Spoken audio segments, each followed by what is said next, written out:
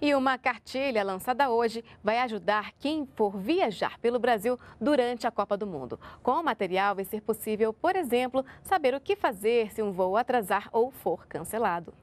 Para evitar contratempos aos passageiros que vão viajar pelo Brasil durante a Copa do Mundo, a Agência Nacional de Aviação Civil elaborou uma cartilha que lista os deveres e direitos de quem quer acompanhar de perto os jogos.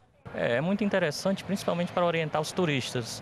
É, nós vamos receber uma demanda de estrangeiros muito alta. Então, quanto mais informações a gente puder fornecer para eles, melhor, né?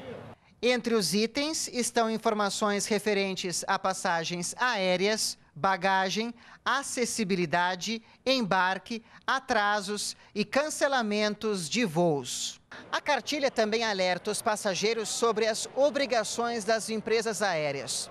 A partir de um atraso de duas horas, o passageiro tem direito à alimentação. Já se o voo atrasar mais de quatro horas ou for cancelado, a companhia aérea é responsável pelo deslocamento e acomodação do passageiro num hotel para ele passar a noite e embarcar no dia seguinte.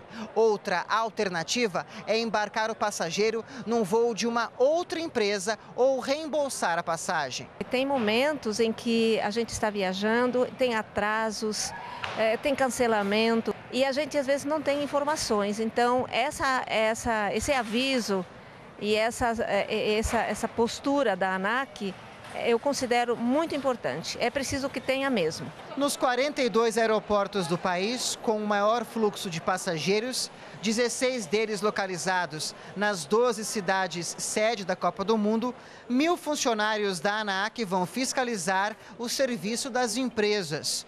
No caso de descumprimento dos direitos, os passageiros devem procurar primeiro as companhias aéreas, depois protocolar queixas na ANAC, que pode multar as empresas. É importante que o passageiro saiba que ele registra a reclamação como um cidadão, para evitar que esse problema aconteça com outras pessoas pessoas. A ANAC precisa daquela informação para poder fiscalizar com eficiência, para poder punir com rigor as empresas aéreas e melhorar a aviação civil para todos. A cartilha está disponível em inglês, português e espanhol e pode ser acessada no site da ANAC.